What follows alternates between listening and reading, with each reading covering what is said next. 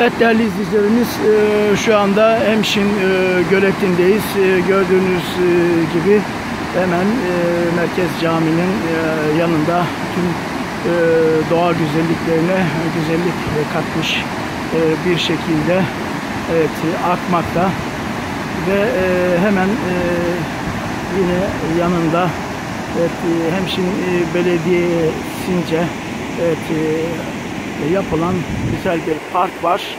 Evet, e, aldığımız bilgiler doğrultusunda bu park Hemşin Belediyesi e, tarafından Hemşinlerin ve e, tabii ki e, yazın e, konuk olarak gelen festivallerde, e, şenliklerde e, Hemşin'e gelen kişilere hizmet verecek aşağı yukarı e, çoğu bitmiş bitmiş durumda çevre e, düzenlenmesi e, yapıyor.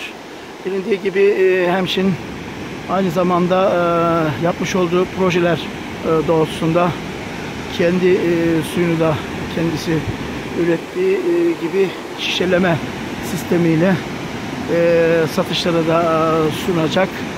E, bundan önceki haberimizde onu da sizlere ulaştırmıştık. E, belediye e, tabii ki e, şişeleme sistemleriyle hem şimdi e, e, suyunu evet içeceğiz.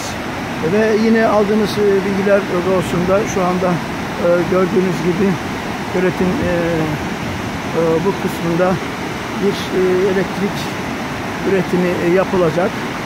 Alınan bilgiler e, doğrultusunda hem şimdi e, suyundan e, sonra elektriğini de e, kendi üretecek. Evet, e, hem şimdi e, kullanacak olan elektrik hizmetiyle artık e, hem şimdi bu gördüğünüz e, sudan aynı zamanda elektrik olarak da e, yararlanacak.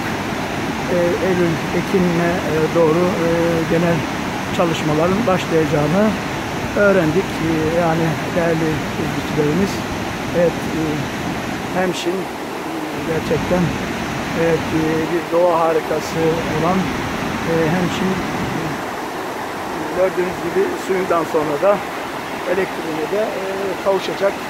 Ayrıntılı bilgileri e, daha sonra e, sizlere detaylı olarak evet, ulaştıracağız.